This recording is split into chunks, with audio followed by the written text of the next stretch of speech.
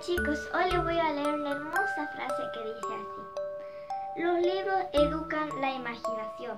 Esto es de Lara Montivero Massa, de 12 años. Buenas noches chicos, es hora de dormir.